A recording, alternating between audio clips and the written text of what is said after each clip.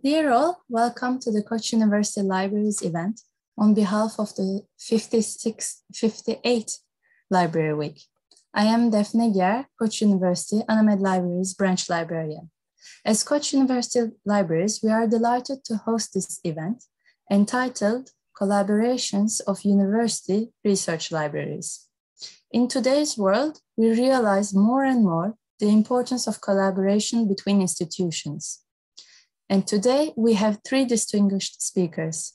Ibrahim Farah from Balamand University in Lebanon, Sebastian Hierl from the American, uh, from the American Academy in Rome, and Sezin Romi from SALT in Istanbul, who will introduce us important collaboration examples among libraries such as Hermes, Urbis, and Bibliopera, respectively.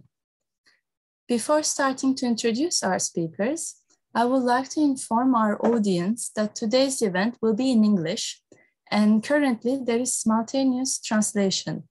To access the translators, please click on the interpretation link below and choose the Turkish channel. We will have three speeches at the end, and at the end there will be a Q&A session. Please uh, type your questions in the chat, and you may also type your questions in Turkish.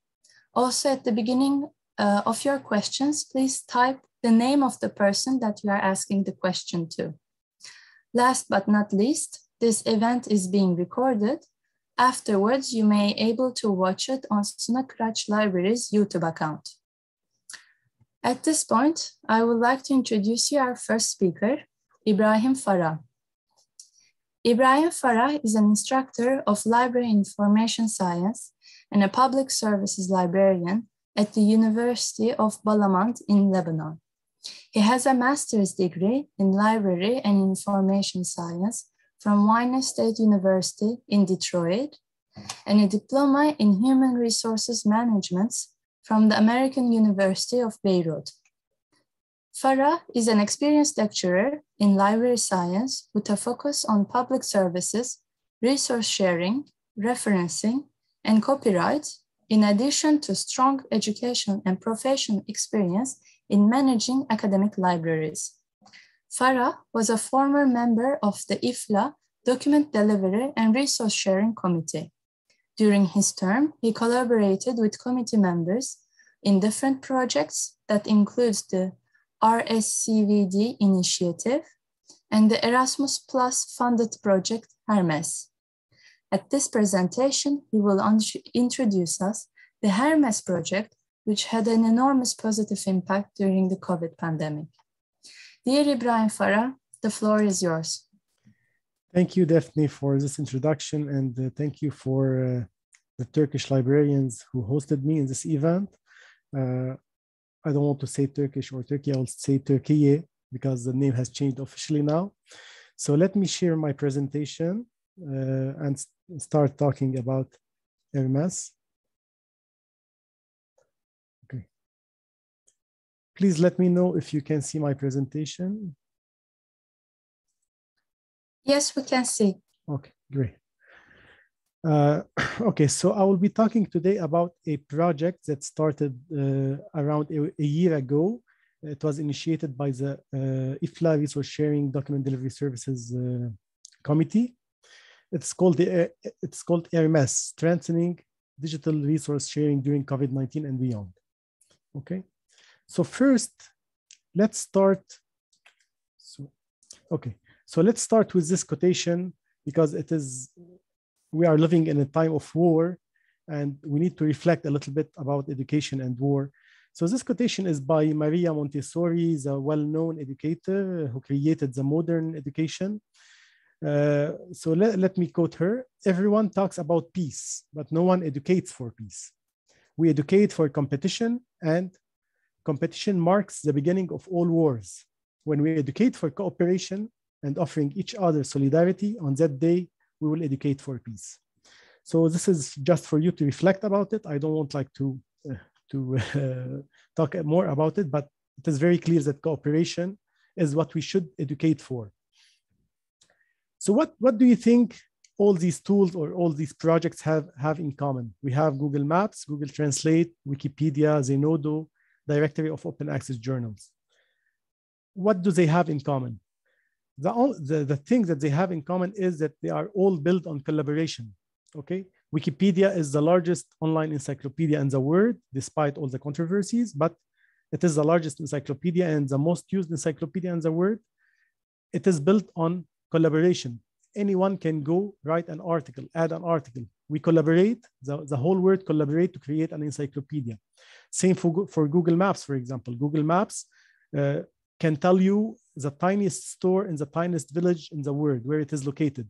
Not because Google Maps has a lot of employees or it is very, very smart, but because people collaborate to Google Maps to make it more successful. And same for all the other uh, products that you can see. So collab collaboration is a, is a main component for success uh, in this world. So we are living in a global village now. So we need to collab collaborate together. So what about universities and collaboration? Universities are builders. We all know that universities, build, we build, we build uh, employees, we build entrepreneurs, we build new generation in many communities, also universities are a large job base. They constitute a large job base. They are also the catalyst of development. All, the, all new initiatives, all new inventions, they start in universities. They have the infrastructure that fosters creation and growth, either through research or collaborative projects. So uh, a university infrastructure is built to foster creation and growth, to foster, like to, to, to nurture new ideas, so these are all point of strength for the university. Uh, from here, the importance of co collaboration between universities and other uh, institutions is very important.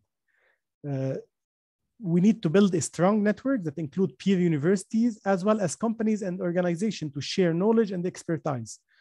So uh, one small example is when, when university collaborate with organizations, they can produce better uh, products. Okay.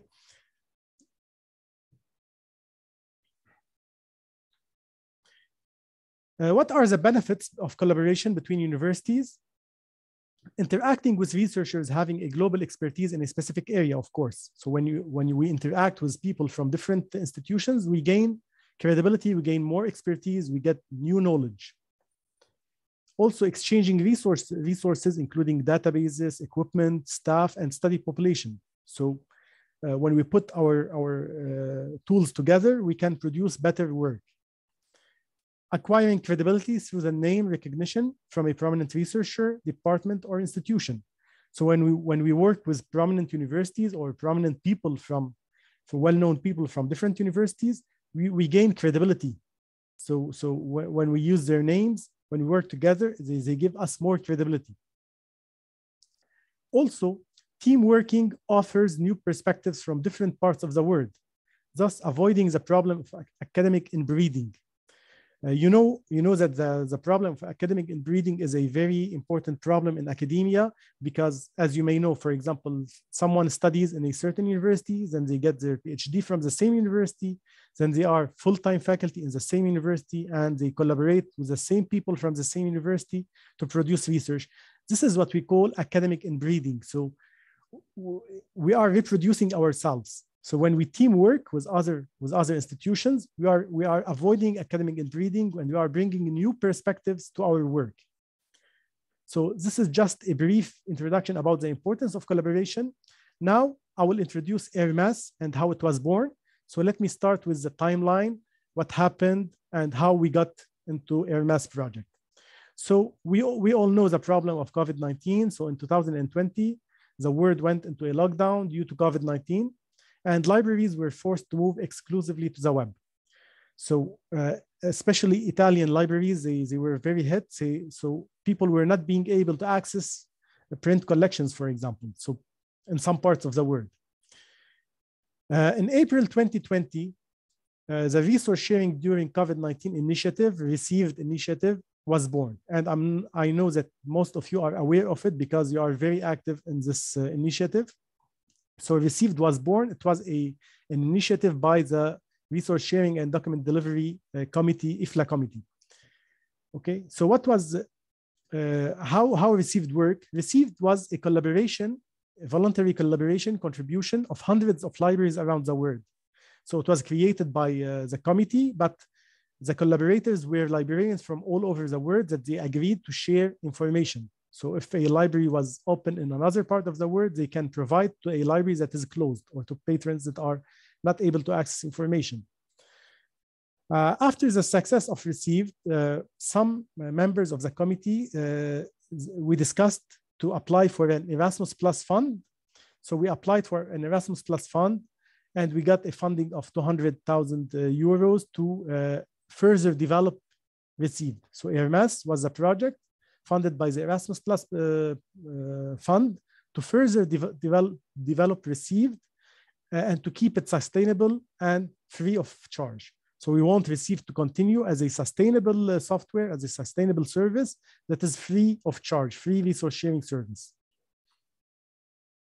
What is the philosophy behind Hermes? So as I said, Hermes is, uh, is the project to sustain Received, to, to continue with Received. So uh, you all know that we have multiple resource sharing platforms around the world. We have OCLC, we have uh, um, Rapid ILL, we have a lot of uh, resource sharing platforms, uh, free or commercial. But Received was the first free of charge that is geared by volunteers. It's not a company, it doesn't belong to anyone. Okay, it is an initiative, and the, the people, the, the working force in Received are uh, volunteers. And this is the strength of the, of the project and, and covering the whole world actually. Through Hermes, resource sharing libraries are aimed to build on Received and create a worldwide service that is first open source. So Hermes, we got the fund, uh, we got the fund to, to work on Hermes project in order to create a better service to ameliorate Received.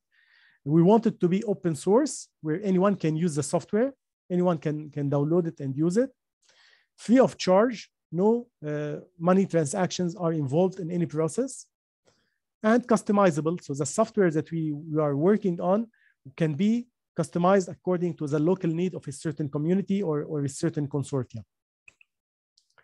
The partners are coming from mainly from Europe and from the Middle East. So uh, the leading partner is uh, CNR Bologna, uh, the research uh, institution in Bologna, Italy.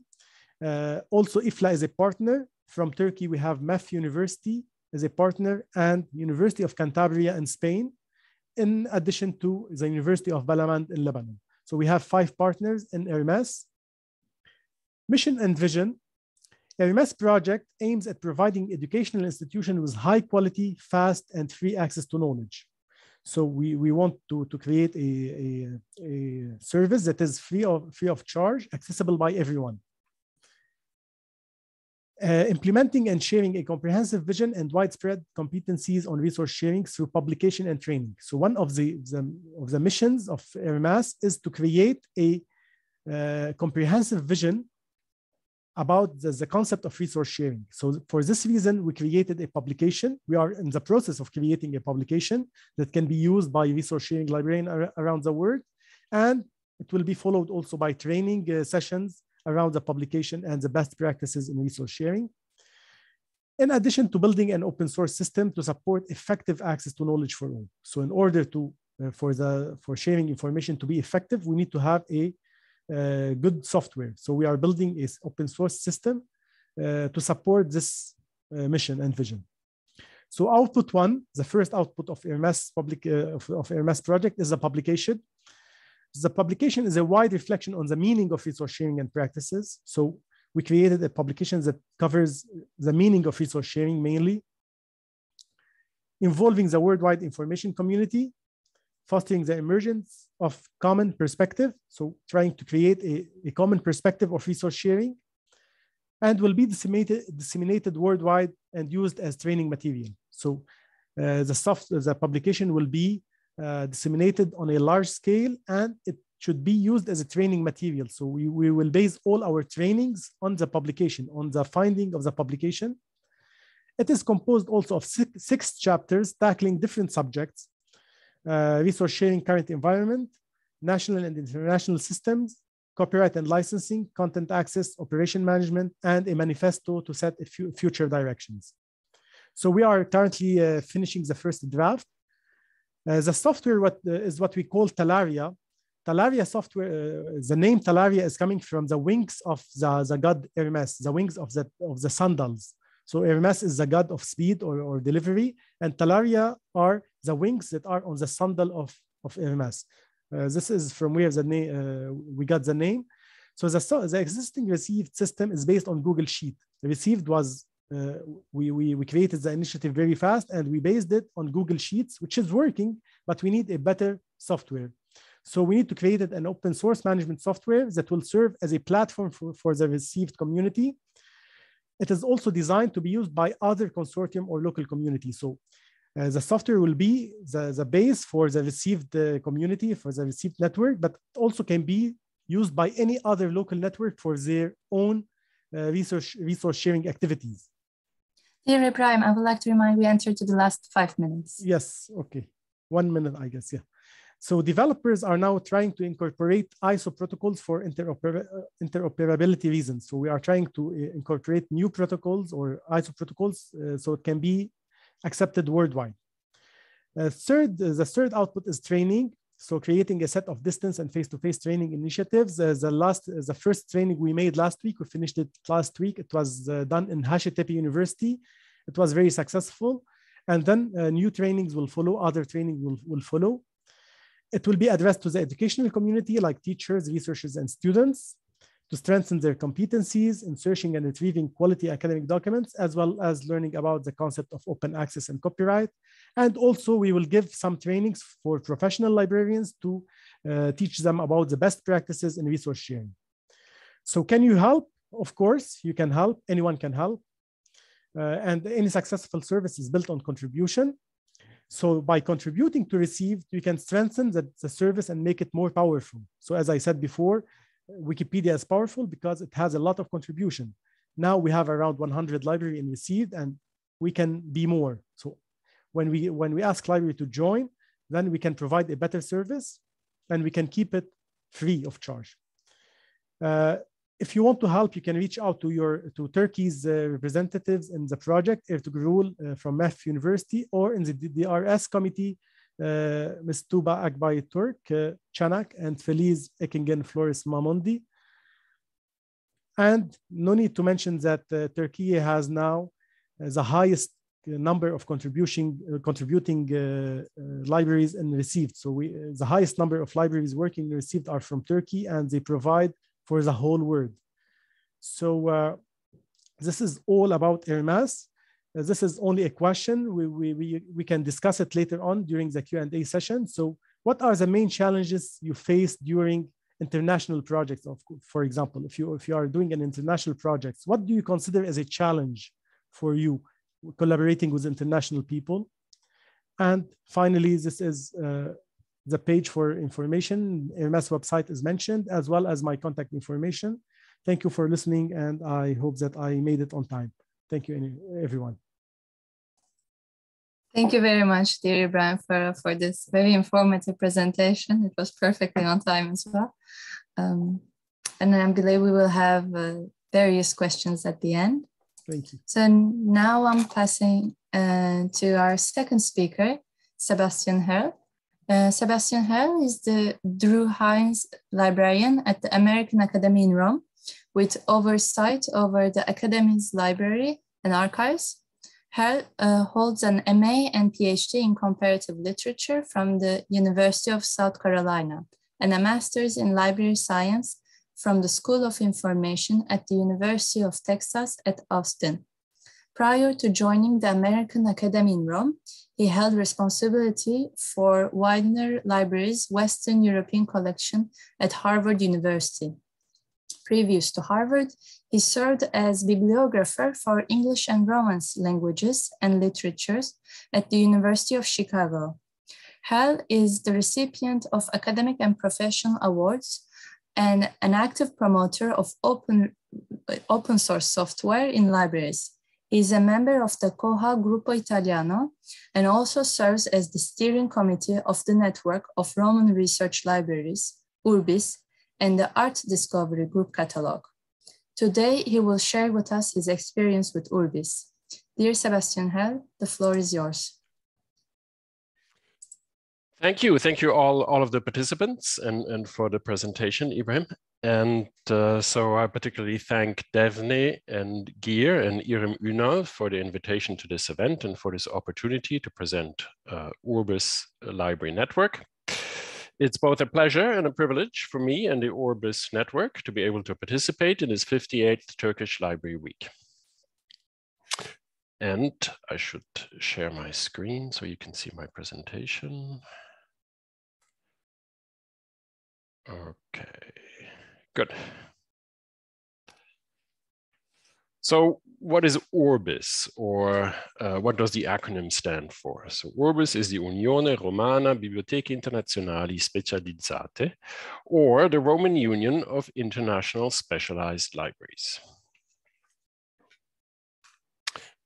Urbis is a network of 22 libraries located in Rome, Italy, uh, which includes notable Italian and religious institutions, and virtually all of the libraries of the foreign academies in Rome, in addition to specialized libraries such as ICCROM, the International Center for the Study of the Preservation and Restoration of Cultural Property, and other specialized libraries in Rome. The focus of the institutions participating in the network is on the humanities, and with particular strength in the history of art and architecture, cultural heritage and preservation studies, and the classical studies. The libraries are listed on your home page with direct links on, on, on your homepage, on the homepage of the Urbis project on this slide.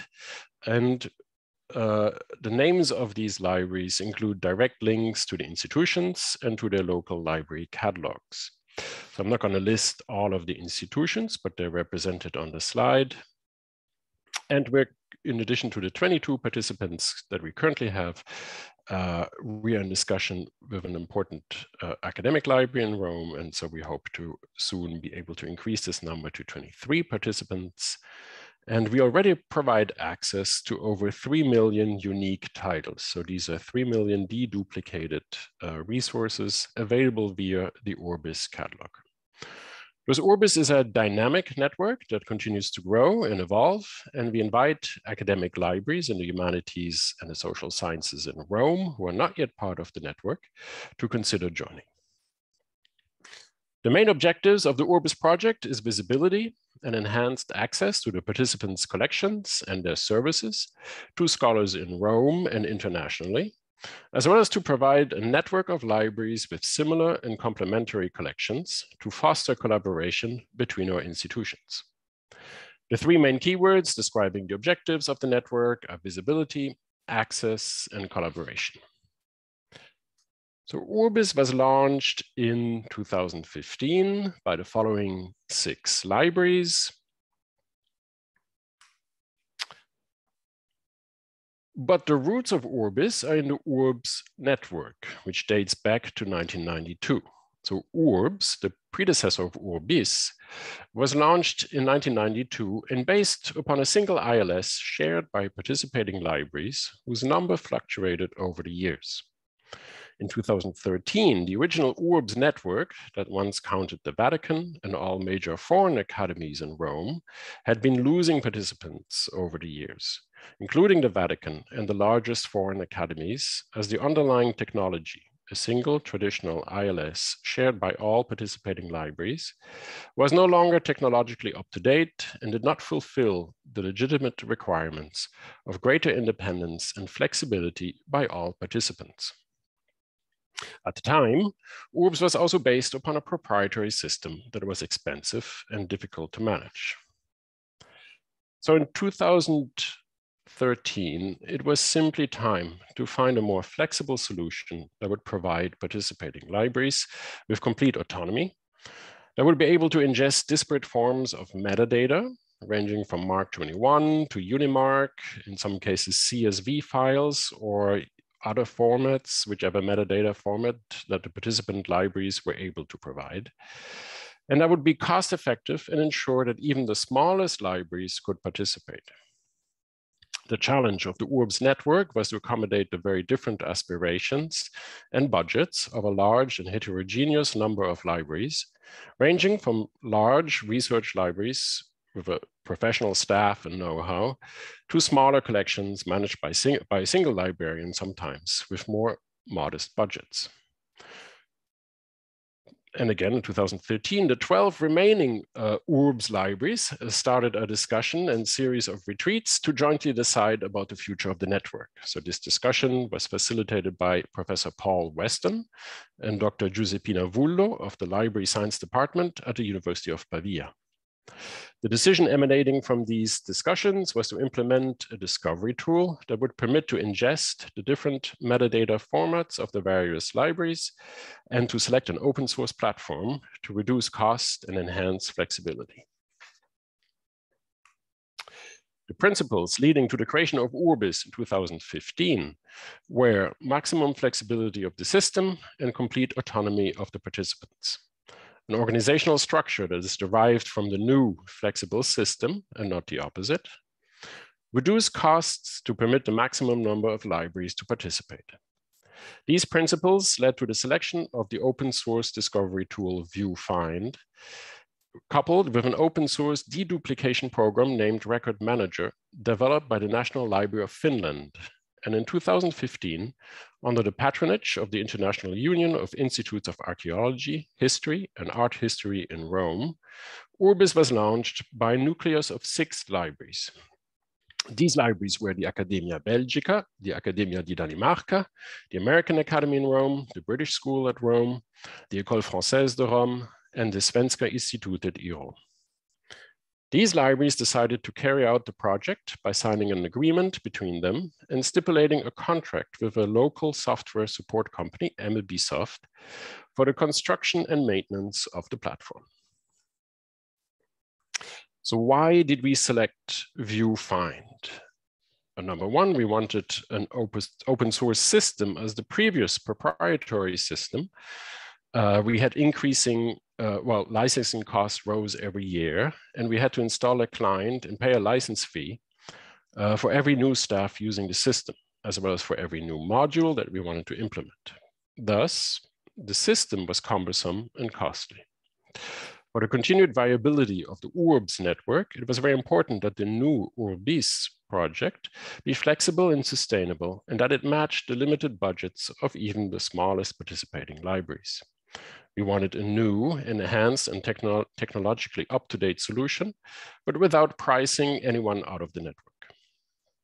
We also wanted a stable and mature product that had proven itself, as well as had to have a choice between support companies and the flexibility to be able to change support company if necessary.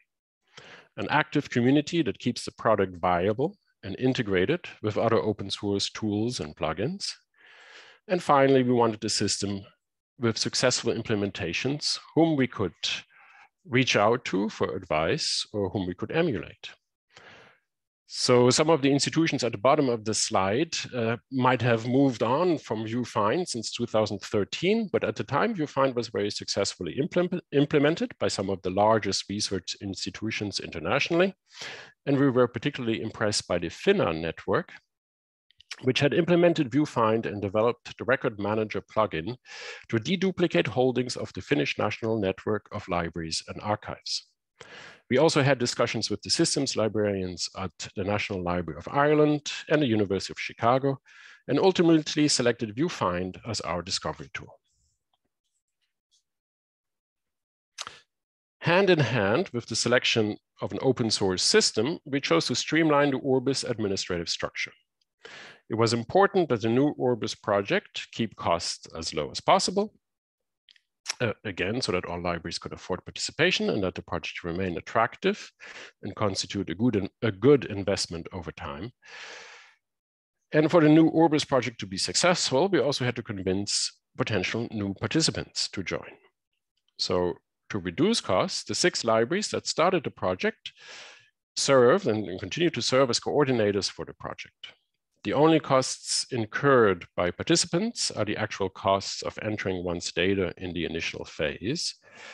Um, and so, so these are these costs vary from library to library and, and depend according to the complexity of the mapping of their metadata to MARC 21. So this, so this corresponds to a one uh, to a one-time setup fee to integrate a library in the network. And then there is an annual hosting and maintenance fee, which is shared equally among all participants. Thus, there's a one-time setup fee and an annual maintenance fee, uh, which are the only costs of participating in the network. A hosting and technical support contract with MBSoft is annual, and we are not bound, as in the case of the proprietary software. If we feel that another software program or another support company would better answer the needs of the network, we can change software and our support company. Any library can join the project at any time at a prorated cost. And so if a library joins in May, it only pays for the months of May through December. And this is also an important point, any library can also leave the project from one year to the next by giving three months notice. Finally, each institution remains the sole owner of its data. Uh, this point may be less important in an age of open data, but it remains an important issue for some libraries and stresses the fact that Urbis is not imposing any restrictions onto the participating libraries and that Urbis is as nimble as possible. There are no rigid structure, there is no rigid structure. There are no technological restrictions or bonds that tie us to one vendor or another. Urbis is a network of libraries who have decided to work together on a joint catalog and common projects, and we can change technology, software, and support company as deemed best. Based upon these principles, the Urbis network has grown from six libraries in 2015 to the 22 libraries uh, we already looked at earlier. And hopefully 23 libraries very soon. So Urbis future projects are to expand the range of catalogs present. So we, we, we look forward and we seek to continue to increase membership and to integrate them with other types of resources. In particular, we would like to better integrate the various libraries' digital collections and to continue to improve functionality. And uh, so we're adding one more library currently as we're speaking, and we're also working on a new graphical interface that will better present all of the libraries and enhance uh, access to the digital collections. And Here, so Sebastian. Ah, yep. Yes, that, this is the end. so I look forward to questions at the end. And uh, there's also the contact information for the network and for myself in case you would like to reach out. Thank you very much. Thank you very much for this uh, very informative uh, presentation. Uh, I'm sure there will be some questions um, asking more details about, uh, about the network and, um, and its current functioning. So now we will pass um, to the third and our last speaker of the day, uh, Sezin Romi. Sezin Romi is the senior librarian and archivist at SALT uh, in Istanbul. In addition to managing the library, she carries out the necessary processes for the research and access of art archives at SALT Research. She was also involved in the research and visualization of SALT's diverse projects, such as It Was a Time for Conver Conversation, From England with Love, and History of the Painting and Sculpture Museums Association.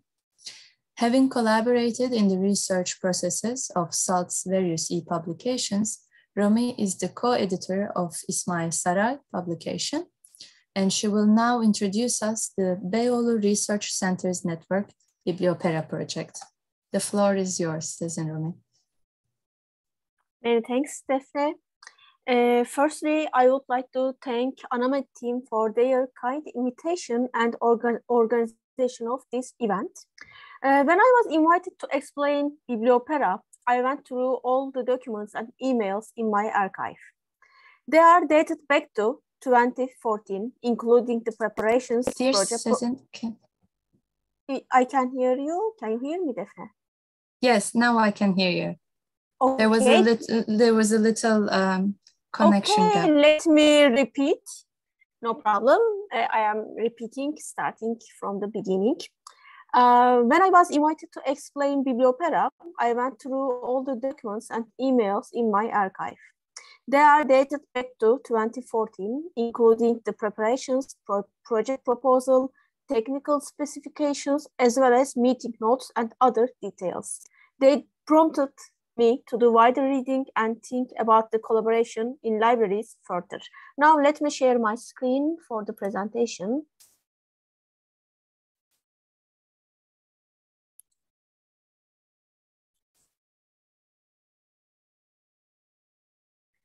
During this presentation, I will uh, try to, I will try to explain the formation of Bibliopera on behalf of my colleagues and try to examine the importance of collaboration between the libraries. Bibliopera brings together the collections of 13 libraries in Beyoğlu, Istanbul. The project was initiated under the coordination of Koç University Suna Library and its partnership with Istanbul Research Institute. They invited these libraries to par participate in the project. There were, there were seven libraries at first, and then new libraries were added to the network, and it reached 13 libraries today. The idea was to share resources of these research libraries through an integrated web portal and enable user circulation among these libraries in the same district in Istanbul. First, in 2014, we received a form to be filled out by each library. We were asked, asked, to, asked to declare information to understand the scope of the project. This information includes number of the items in the collection, monthly user, stat user statistics, information about the user's profile, user analytics, number of fellowships. The project was named the project was not named during that period, and it was defined as digital pl platform of research libraries in Beyoğlu or web platform of research centers in Beyoğlu. Contributors, uh, contributors collaborated to write a project pro proposal to be applied to the Istanbul Development Agency. The application was accepted to be supported by the agency the same year, and partners began to work closely to make the project alive. The process to figure out the structure of the website was begun. The project was launched in 2016. Partnerships are crucial for libraries to successfully meet the needs of their users and support their aims and objectives. There is always more than one way to look at an issue or problem, and the collaborative process will involve input from a range of people with a variety of different backgrounds. Collaboration helps to avoid duplication of effort and provides more efficient, efficient workflows and activities. It also increases the visibility and influence of the library and library staff internally, externally, beyond the existing user base. Jeremy Atkinson explains the benefits of collaboration with these sentences in his article, The Power and the Challenges of Collaboration for Academic Libraries. Benefits of collaboration. The collaborative process allows for wider and deeper input from people with a variety of perspectives, expertise, and experience. This helps to develop a more complete, complete picture of the area and a richer service for the users. Collaboration can provide efficiency savings, streamline work processes, and free up staff time for more value-added activities. Collaboration can help to change the role of the library in the university or institutions and move it beyond the traditional client service model. A more joined up service delivery is developed. The points of contact for users are minimized through the development of integrated services, single user interfaces, single input of data, etc. The development of digital, to digital tools and technology play a role in the transformation of collaboration, collaboration mod model, methods in the libraries. Before these changes, libraries were sharing their resources by borrowing and lending, lending printed materials. With, with support of information technologies, the ideas of collaboration and its ways move from a print to a digital environment. Collaboration provides more efficient sharing options, so it plays a very important role in the field, field of library and information centers for resource sharing. The, the consortium has been one of the basic concepts in the field of library collaboration since the half of the 20th century. It aimed at choosing, purchasing, and implementing the same integrated library system. Research centers and library have, libraries have failed to meet the user demands as the number of international publications increased and this in turn has forced them to share documents and develop common collection. It also paved the way for consortiums, collaborations, interlibrary loans, document delivery, the uh, interlibrary loans, document delivery, the establishment of union, union catalogs were also among the uh, main activities of consortiums. In other words, library consortium would be the coming together of libraries to achieve a common goal that is beyond what an individual library could achieve on its own. Web portals are becoming an increasingly important component of consortium. Similar to the Bibliopera examples, Bibliopera brings together collections of 13 libraries together virtually and presents an integrated online catalog for the users. Focusing on diverse disciplines such as history, art, architecture, archaeology, literature, and urbanism, the portal presents around 500,000 printed materials with digital collections of consist digital collections consisting of over 2 million digital objects. It is, it is accessible universally, universally free of charge. The data is updated reg regularly to present the recent acquisitions of each library. The website presents sections such as news, dis dis uh, digital collections, publications, fellowships, libraries, and events. Apart from presenting the search results, the portal also aims to keep the users informed regarding the new arrivals as well as recent events organized by these libraries. Collaboration under Bibliopera also plays a role in the collection development policy. By not acquiring the publication which already exists in other libraries, it avoids space problems, provides efficient budget management and user circulation among the libraries. Collaboration also aims to support research activities, begin new dialogues with staff members, and provide an exchange of knowledge. Apart from a web portal, Bibliopera also created smaller groups of staff members with different task forces. One of them is the management of social media accounts.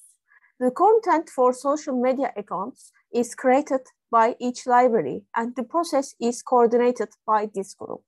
Each institution prepares a list of posts to be published month monthly. Bibliopera also aims to organize events under this collaboration. Library tours are organized every library week. In these guided tours, contributors visit each library and get information about them on site. We couldn't organize these tours since 2020 due to pandemics, we hope that we will be able to continue these tours next year and organize new events under this collaboration. On the other hand, Bibliopera is a great opportunity for continuing dialogue for the libraries and librarians. It provides interaction and enables librarians to collaborate, learn, and exchange. We hope Bibliopera network evolves, reaches more users, and continues to support research-related events. I would like to conclude, conclude my presentation with a quotation from Henry, Moore, Henry Ford. Coming together is the beginning. Keeping together is progress.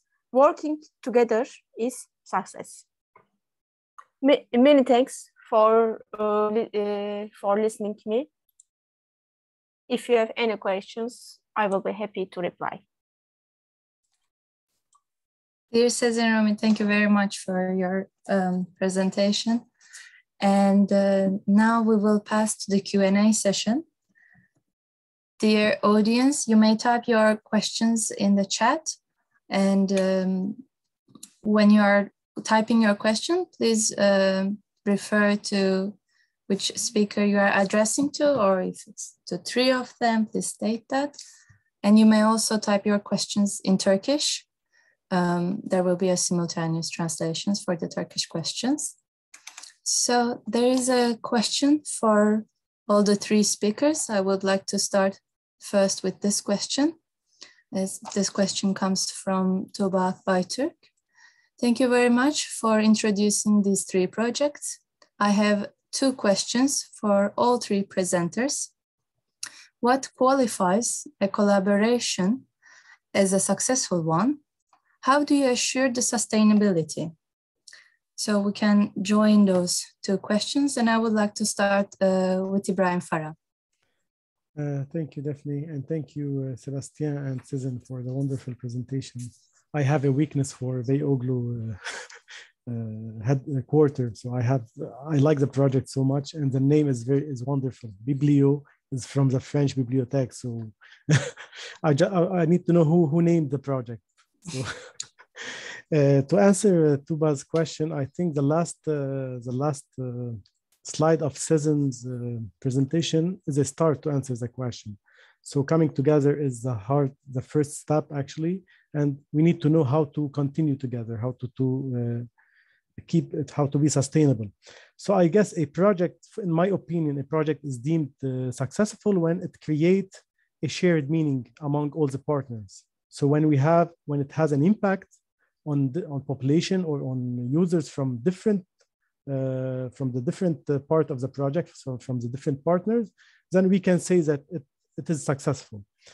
Uh, it should be mutual, it should create a shared meaning. And for sustainability, I guess uh, in any project, we need to have a leader. So uh, uh, and I'm talking about Hermes and Receive because I, I have expertise in them. So creating an independent steering committee is crucial, in my opinion, to, to keep the project running to identify the problems. And of course, the commitment of the volunteers, the commitment of the partners is what make a project successful. We need to, to uh, a commitment and proactivity from volunteers to keep it working. But of course, it should be led by a steering committee with a clear uh, policy.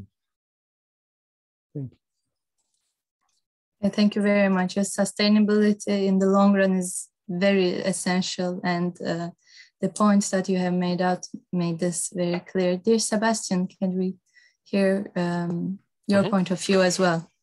Yes, thank you. And also again, thank you, Ibrahim and, and Sezin for your uh, presentations and, and for uh, these insights, which I look forward to going back to and, and learning more about uh, your projects. Um, so yeah, I think I agree with everything that, that Ibrahim just said. Um, uh, uh, in addition, I would say or, or uh, further supporting Ibrahim's points, I would say that it's also very important to uh, structure the network in such a way from the onset that you allow it to be uh, successful. So you allow it to, you give it this uh, collaborate, collaborative structure, but you also base it on sound uh, principles um, that will keep it sustainable for the years to come. And so for us, for Urbis, that was flexibility first uh, and foremost, so that we could have the, the freedom of, of growing, the freedom of choosing our software, the freedom of choosing our support company, and, uh, and even the freedom of costs, of determining our own cost and deciding when to invest into improvements and when not. And uh, so having flexibility uh, was key um, and and also having a, a committed uh, uh, uh, well committee or steering committee or membership so that uh, where everybody can contribute. But i do agree that um, uh, uh, at least a steering committee needs to provide guidance and and make proposals. And then uh, move the uh, the network forward. Um, yeah, I think most of the principles that are highlighted in, in the talk also uh, answer the question. Perfect. All of them are noted, I believe, by everyone. Dear Sezin, um, what is your thoughts about this? Uh, as Ibrahim reminds, uh, you know, uh, Henry Ford's sentence is uh, quotation is important. You know, working together is success, as he says. First, uh, working together is the critical point. On the other hand, the most critical part is economic uh, economic su economical support because if Bibliopera project couldn't get support from the Istanbul Development Agency, this project wouldn't have been realized. The first step was solving the economical uh, problems or uh, sources. On the other hand, it is also uh, Koç University Suna Kıraç Library's position as a coordinator and initiator is very critical in the project because their efforts in uh, hosting the servers and other technical specifications and their coordination with the technology comp, uh, company is very critical. On the other hand, the most critical part is uh, working together uh, with other colleagues because you uh, during uh, in a routine daily life we have all you know our responsibilities and task force to uh, and we, are, we, are, we need to uh, complete our responsibilities first. And during this routine, it is really hard to focus on different topics. But by creating small groups, uh, uh, this uh, workflow in the collaboration uh, become easier and more efficient way. We, uh, you know, since the beginning, we are working in social media accounts and it is really very successful because it is coordinated and small groups are in charge with that. Uh, so um, I, ho I hope on behalf of Bibliopera, we, we can sustain this uh, this project and create more smaller groups on under the consort under the collaboration and also it is important to reach more users through this portal thank you very much Sezin a lot for your comments and uh, we believe that the audience is also taking important notes um, on what you have stated uh, i have a question in turkish uh, for sebastian here. Uh, uh, Sebastian, you may pass to the interpretation. You may click on the interpretation and click English to hear the question in English. Urbis'ten İtalya'daki tüm kütüphaneler faydalanabiliyor mu? Katılımcı kurumlar harici. Soru Gamze. Okay, thank you for the question. Um, well, the, the point from the onset of Urbis was actually to provide a network, to create a network of Roman libraries. So we're really focused on Rome. And uh, I think going beyond would be beyond the scope of the Urbis project. And there are very successful uh, Italian uh, nationwide Italian or one uh, nationwide Italian project. And so we would not compete with that. So we, we're focused on Rome, really. Okay, thank you very much. Um, then I have a question that I was wondering actually during your talk. Is there any um, um, any networks that are establishing in other cities in Italy, taking the example of Urbis? Yes, there are there are others. There is the Iris network in Florence, which is similar to Urbis, and uh, in that it unites uh, foreign and, and, similar to Bibliopera in, in that it unites foreign institutions and local Italian institutions, and they're focused on on the city of Florence. Okay, thank you very the, much. The first the first one that comes to mind. I'm sure there are others, but yeah. mm -hmm. perfect. And then there is a question for all the speakers. Now uh, we would start with Sezin. Uh, what would you do differently if you were starting from scratch? So Sezin, we can start with you. Mm, it's a really, I think, difficult question. But maybe, you know, from if we begin from scratch, I think our aim was really concrete. Our aim was sharing the resources through an online catalog. So it will it will be the same uh, maybe we I think there won't be too much changes in the concept of the project, but maybe we could think on uh, other uh, resources, think on how to maybe acquire databases or other um, digital resources sources on behalf of Bibliopera. This was not in the in the uh, in the context of the project, and uh, and maybe we could also think on the workflows. Uh, mostly focusing on the smaller groups in the beginning. Now, you know, we are uh, trying these processes and uh, learning by trying. So maybe we could have talked on them in the beginning, but the concept of the project would have been remained same, I am sure. Mm -hmm. Thank you very much. Dear Sebastian? Um, yeah, it's a very good question. uh, I think we, we, I wouldn't say we rushed. We we had to proceed and we had to find a solution, and uh, so ideally we would have had more funds available to us. So maybe uh, seeking a grant and having a sound uh, economic foundation for the project from the very beginning would have helped. And uh, so so it, it uh, yeah it would have helped. It always helps, and uh, and and I think we could have convinced more libraries, talk to more libraries, uh, and perhaps start with more libraries than, than six when we started in 2015.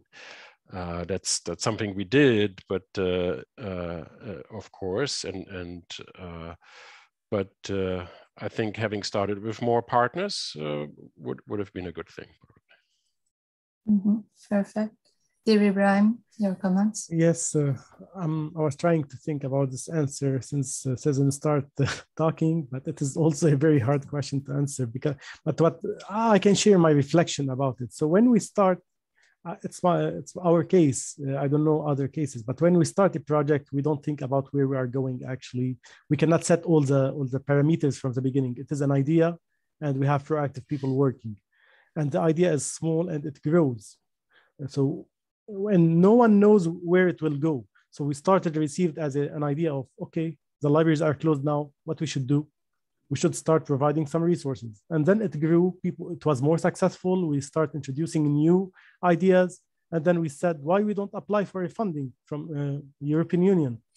But we are limited by the people who can join. So maybe what we can do differently is getting more people in, but the fund is only for European institutions so we were limited by this uh, by, by this.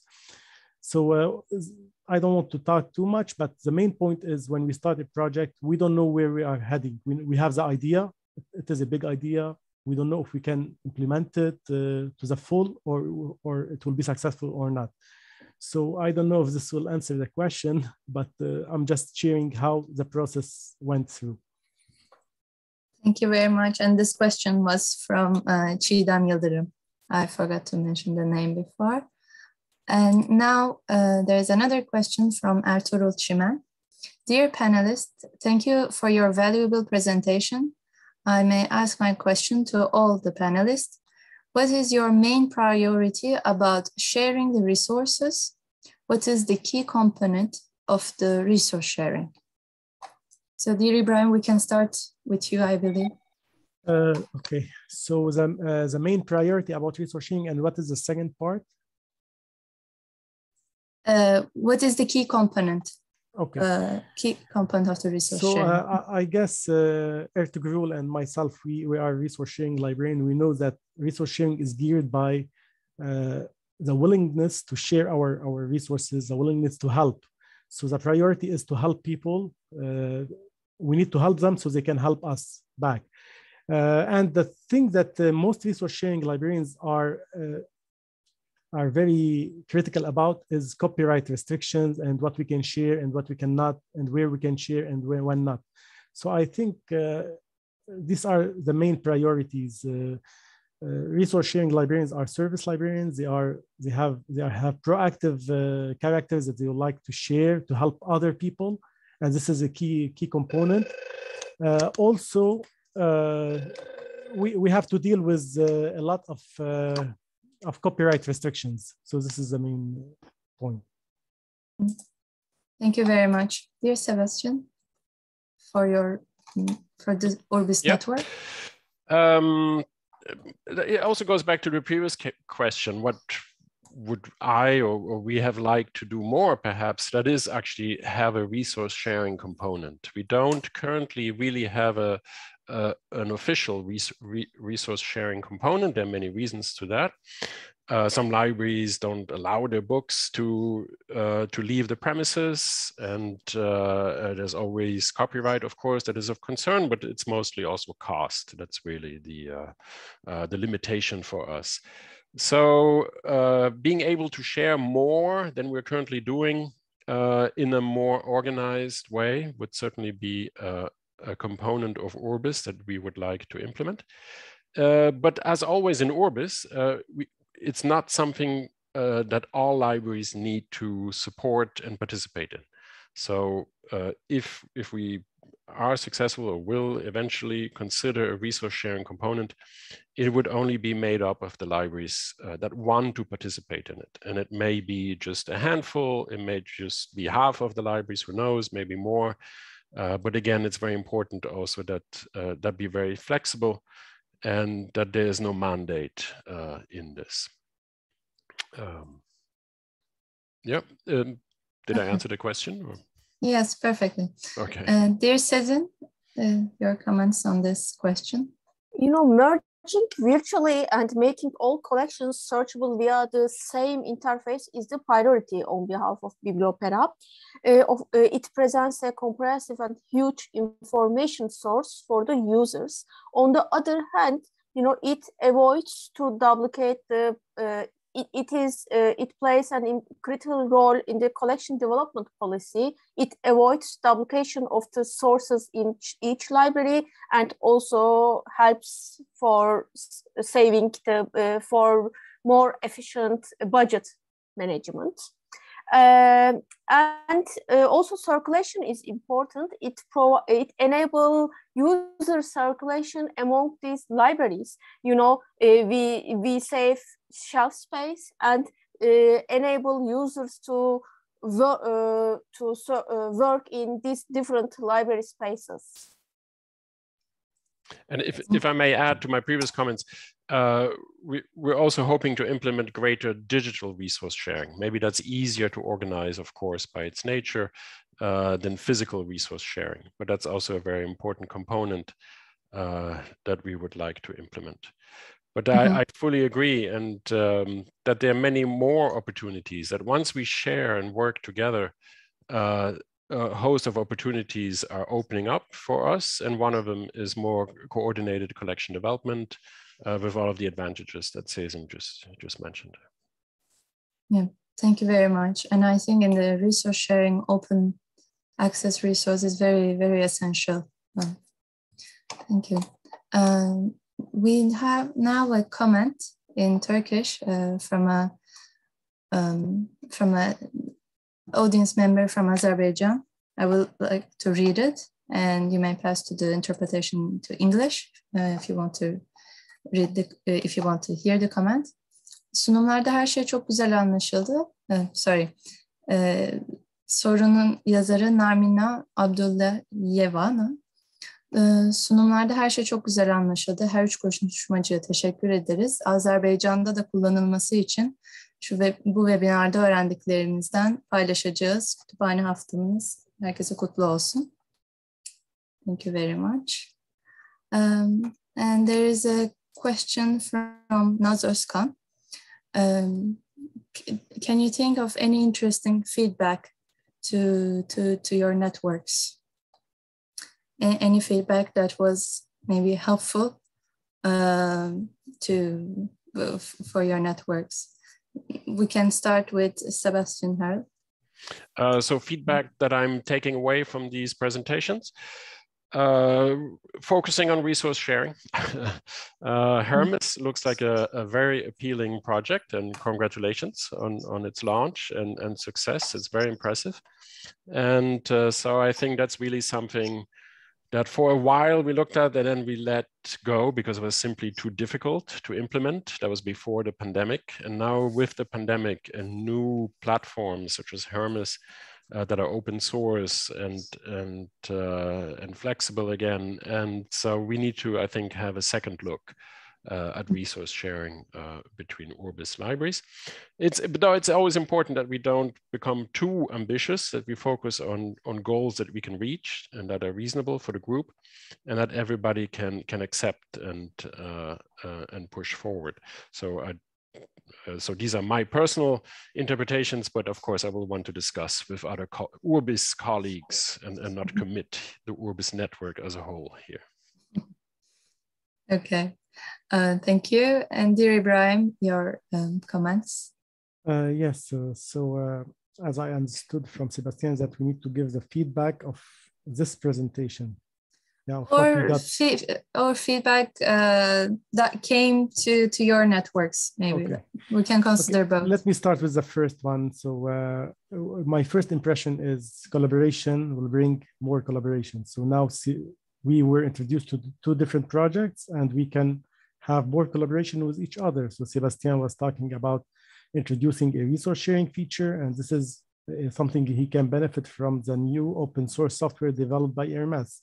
Also, we are trying to uh, create a union catalog in, uh, in, uh, in Hermes, so people can, can search uh, the catalogs of all the libraries before uh, putting an order. And this is what we can benefit from, from Sebastian's project. So collaboration brings more collaboration.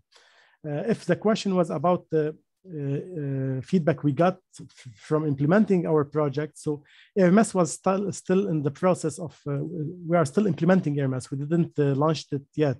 We need like six months or so, but received was very successful. We received a lot of comments from people from around the world that how we received helped them getting resources they were not able to get from anywhere else.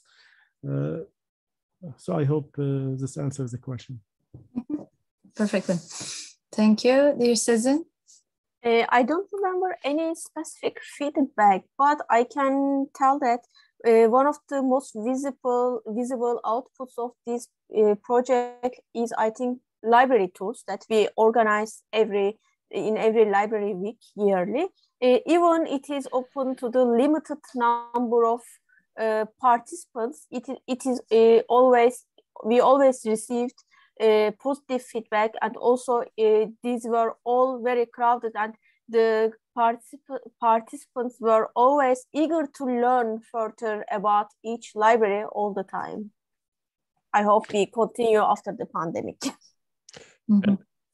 Also, since the, the Urbis and Bibliopera networks are very similar in, in Iris, and maybe there are other examples, such as perhaps in Athens and other places where there's a, a presence of international institutions, um, it would be interesting to explore and see what one uh, network has done that we can learn from or implement. So just having this discussion was already very helpful and is a stimulus to, to look beyond Urbis and and uh, and and open up the uh, uh, horizon or, or look at solutions. Yes, you says uh, yeah. I can give you a feedback now because I, I I saw the project before I was invited to this panel, and I was amazed by the interface. It was very beautiful, and also uh, uh, the cultural background of Bibliopera is important, like talk, like having it for the, uh, the historical area of Beyoğlu, a project like this is very important. And the name is also uh, very representative. So this is my feedback for you. Thank you very much. Uh, we have a question from Juliette Rassi. Um, this question is uh, to all of you, but you can question in um, whichever order you want. Do you have some manuscripts in those projects? So this a bit depends uh, to the libraries, I believe, but um, if yeah, uh, dear Ibrahim, can I can answer Dr. Juliette Razi because she's from Lebanon. She's a, doctor in history. So uh, for Hermes, uh, the publication we are having is a reflection on the best practices or what should we have should we do in resource sharing? So we have we will produce a document to serve as a uh, to be a documentation of what we have done and to serve as a reflection of the best practices in resource sharing. Also the training materials are documents but they are online documents. They will be available on youtube and on other media. So we can consider them as documents as well If Sezin and Sebastian, you would like to add uh?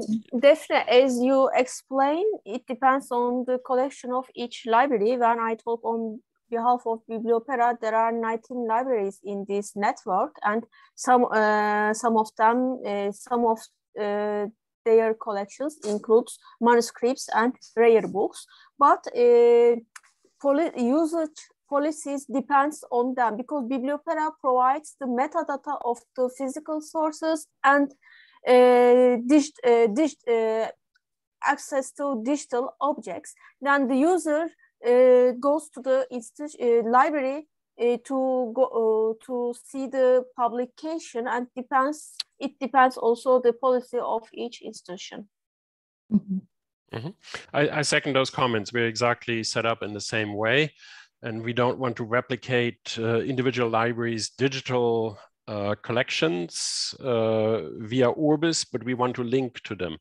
I think so. So the libraries, the, the digital collections, archival collections, manuscripts, uh, are all included if the libraries have cataloged them and are sharing them in Urbis, and, and all of them do. So uh, there are then direct links to the digital objects that are hosted by those libraries. What we can do and what we want to do is find a way of making them more visible. So making the digital resources more visible from the onset and uh, so that people hopefully don't already need to know what they're looking for, but get stimulus and ideas of what is available at the various libraries from the onset. So that's that's one of our goals for the for this year. Thank you very much. Now I will pass to another question in Turkish. It's to all of the three speakers. So, uh, the question is from Pelin uh, Karcı. Sunumlar için çok teşekkür ederim. E, sorum tüm katılımcılara. Söz konusu projeler için ağ genişletmek için ne tür stratejiler uygulanıyor? Uh, Shall I start? Sezin, we can start with you. Okay. Uh, it is one of the critical issues that we discussed in Bibliopera many times. You know, when uh, we launched Bibliopera, we were seven libraries in the same discrete the historical area of Istanbul in Beyoğlu. And our, uh, we are all research libraries. We are all focusing on issues, such uh, topics such as architecture, art, um, urbanism, you know, our research topics are common. And then uh, we new libraries were added to the to this network, and you know the name of the collaboration is Bibliopera, Beyoğlu Library. Library. It is very uh, you know uh, concrete in the title of, of, the collaboration. But when we, we received requests, we thought on that because you know there are not many research libraries in Istanbul, and if we avoid uh, adding them to this network will be is, is is it something ethical? We always thought on that but by chance the new libraries uh, the, which were requested to join the network most of them uh, moved from other neighborhoods of Istanbul to Beyoğlu district and then uh, the, this was solved automatically. But uh, we are not sure for the future request and I think if we receive something different we will discuss. But we are trying to our aim is collaborating and uh, be, uh, bringing our powerful points together. So we will look. Thank you very much. So that was a good coincidence then. Uh, dear sebastian your thoughts?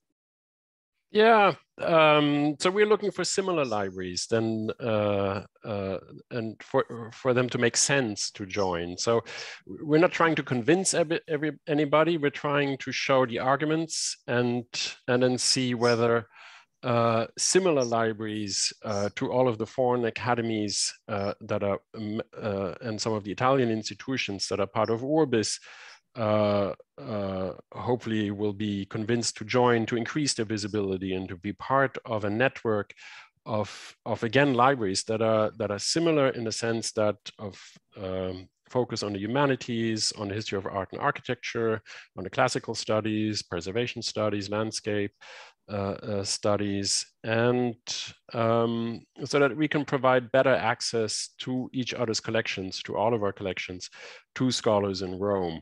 That, that's really the argument. There, there is a, a local Roman network of public libraries. Uh, there is a, a, national network.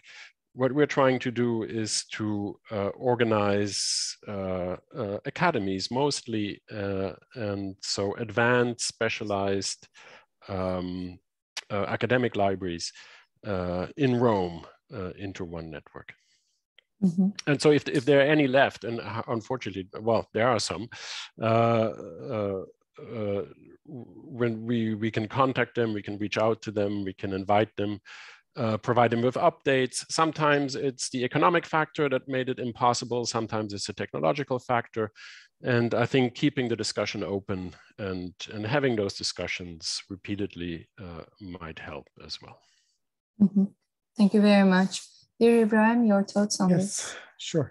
So um, from a personal experience, the most important factor to grow a network, a volunteering network, is the human factor. For example, in the case of Receive, we relied on the key figures. For example, Peter Bay from Princeton in the United States, he has a lot of, he has a big network. So he was a key person in contacting new volunteers.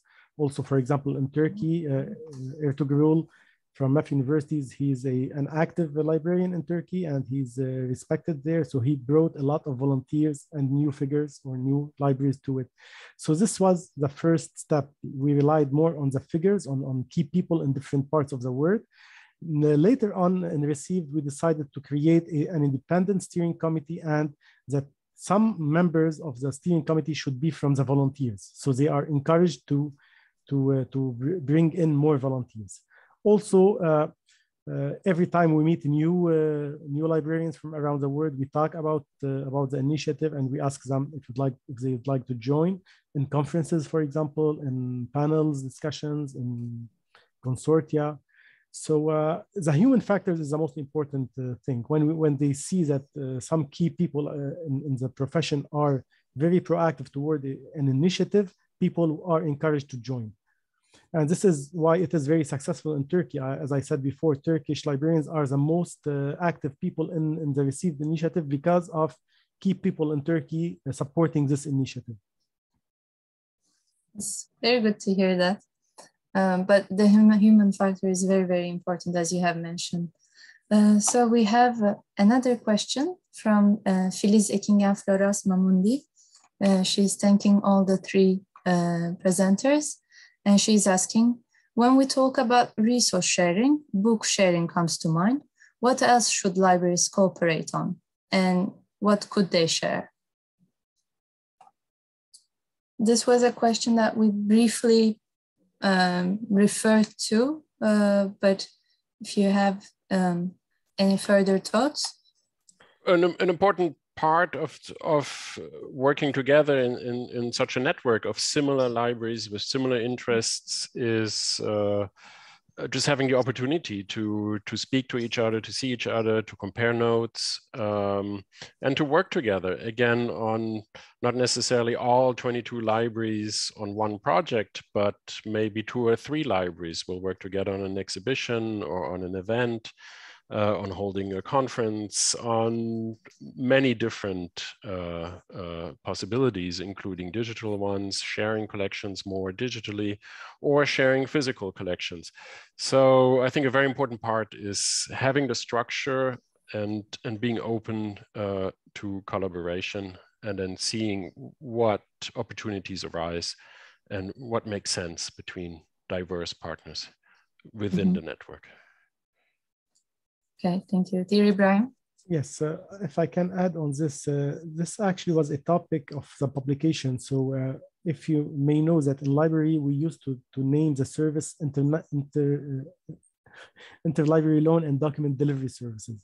Then we moved into resource sharing. So we were discussing, should we name it resource sharing or interlibrary loan service in the, in the publication? And we decided more on using resource sharing because librarians they share more they share more than documents, they share also their expertise, they, they share their know-how, they share their networks. So we have a lot to share.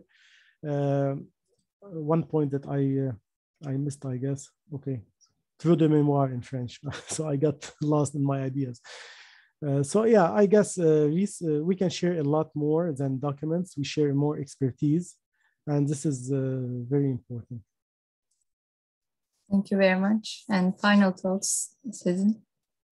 You know, as I said in the presentation, there is always more than one way to look at an issue or problem. So collaboration is must at that uh, case. And also rather than form-based, I am thinking collaboration in the libraries uh, more information-based because, you know, libraries are the temple of knowledge. And this knowledge, in, uh, you know, uh, books, resources, e-sources, uh, all forms in the libraries, expertise, organization of research-related events, uh, collaboration in terms of research projects in a, in a common topic or common periods in a common region.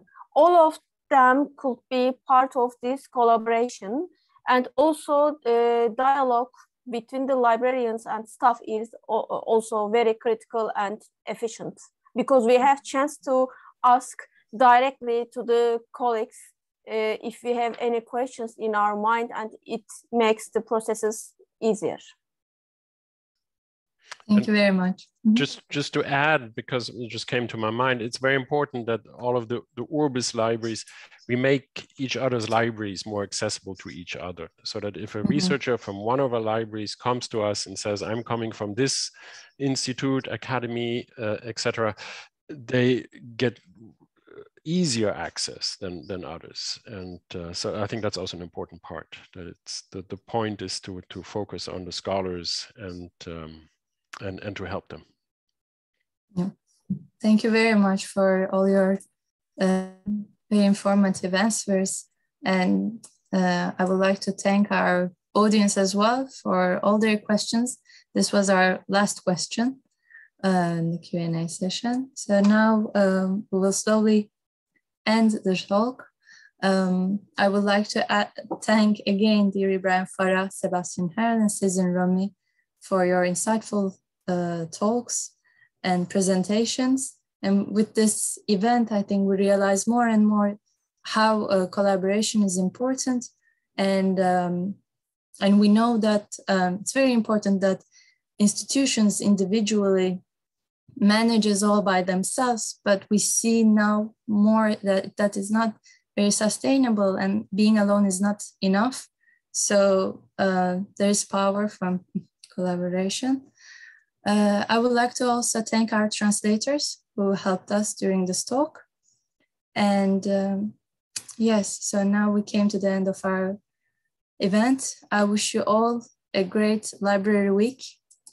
Thank you again and goodbye. Thank you. Thank you. Thank you. Thank you for this opportunity. Thank you. Thank you for the well-organized event. And uh, thank you for Koç University and uh, all the employees there. Thank you very much. Thank you very much. Goodbye. Bye-bye.